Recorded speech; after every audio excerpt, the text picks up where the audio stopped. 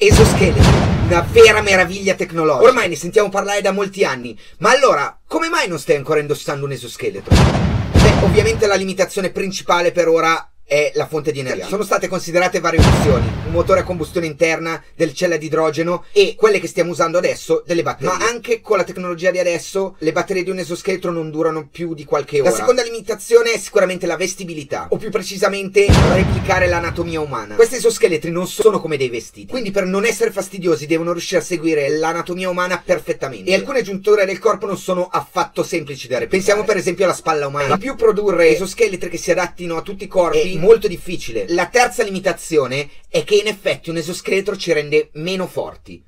Sì, lo so, è un paradosso, ma è stato osservato che un uso prolungato di queste macchine può causare il cosiddetto decondizionamento di allenamento dei muscoli, con una potenziale perdita di muscoli nel lungo periodo. Insomma, come ogni superpotere che si rispetti, anche questo ha i suoi limiti.